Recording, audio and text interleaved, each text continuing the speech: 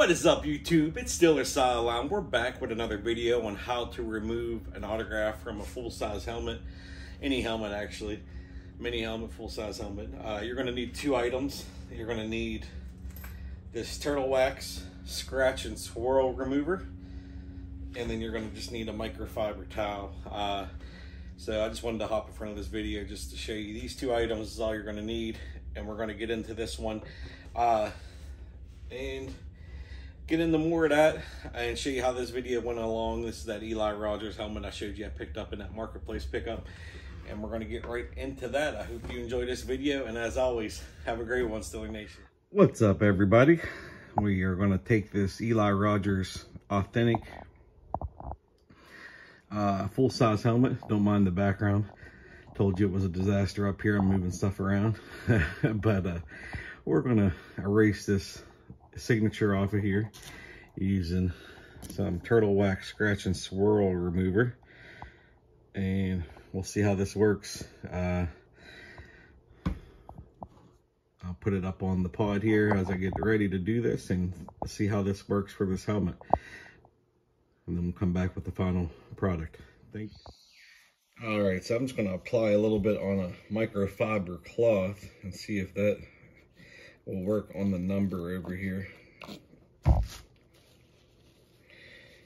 Let's see how that goes. I muted the volume for you guys because there were just a bunch of crazy sounds from me uh, rubbing this on the table. Uh, and I really had to get into it and rub it really, really hard. You got to put some elbow grease into this for this to work. Just kind of like when you're waxing your car, you got to really put some, some, you know, force behind it. And it does work. It works really well. Uh, just to, got to put a little elbow grease into it. And that's all.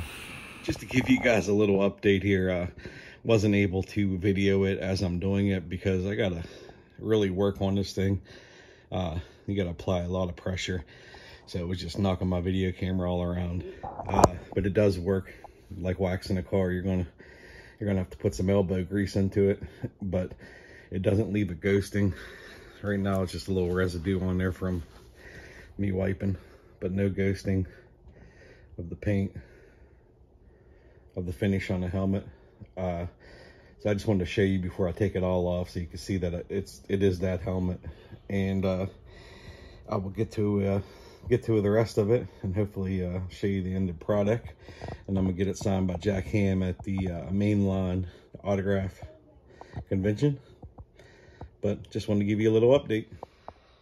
So there you go, folks. There it is. Finished product, ready to get Jack Ham on there. Sorry, my son's a loud playing his game. Uh, just use this turtle wax scratch remover and just your regular microfiber towel. And I got the little, that's the little paint residue that's on the towel from it.